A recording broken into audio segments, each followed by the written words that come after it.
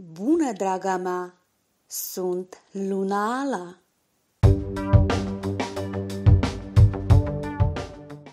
Pentru săgetător, decembrie poate fi o perioadă neobișnuit de reușită și foarte dinamică, care anunță perspective și mai favorabile pentru anul care vine. Și în acest sens, cel mai armonios moment pentru săgetători este a doua și mai ales a treia decadă.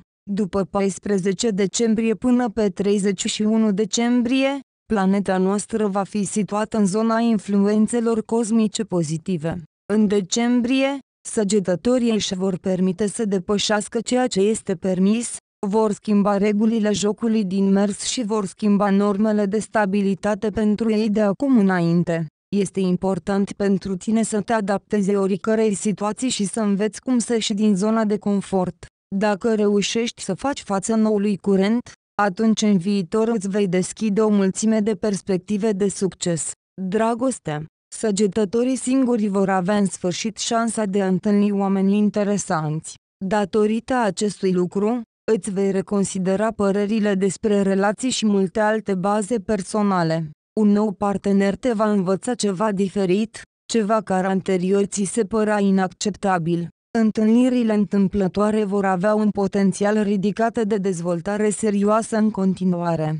Încearcă să iei totul cu calm și nu te scufunda în emoții cu capul. Cei care sunt deja în sindicatul căsătoriei vor trebui să înfrunte noi obstacole. Partenerul va arăta unele calități pe care nu le bănuiai înainte. Dacă nu poți schimba situația, schimbă-ți atitudinea față de ea.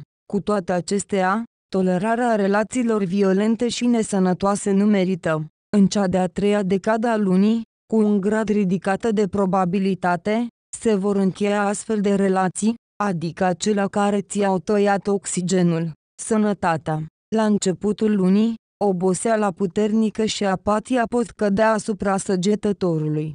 Încearcă să te odihnești mai mult să nu te supraexciți emoțional. Este important să te poți relaxa și să-ți acorzi mai mult timp pentru a te bucura de viață. Nu va fi de prisos să bei ceaiuri de plante sedative care îți vor ajuta somnul să devină mai puternic și mai lung. Aerisește mai des camera, încearcă aromaterapia.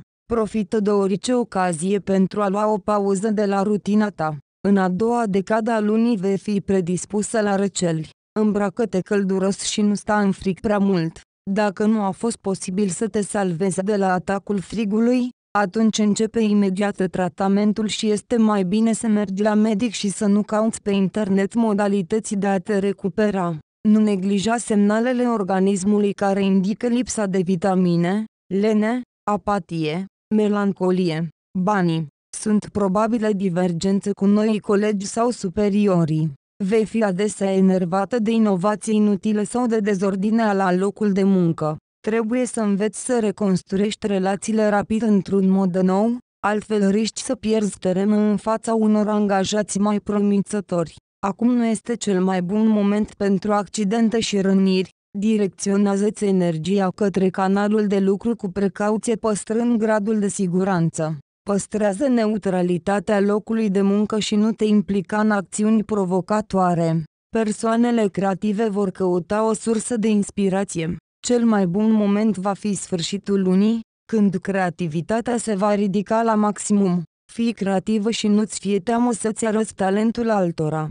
Mulți dintre voi, în mod destul de neașteptat, veți primi recunoaștere din partea societății.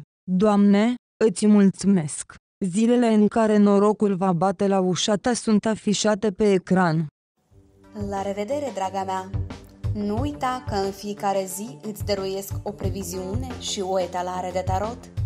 Te aștept!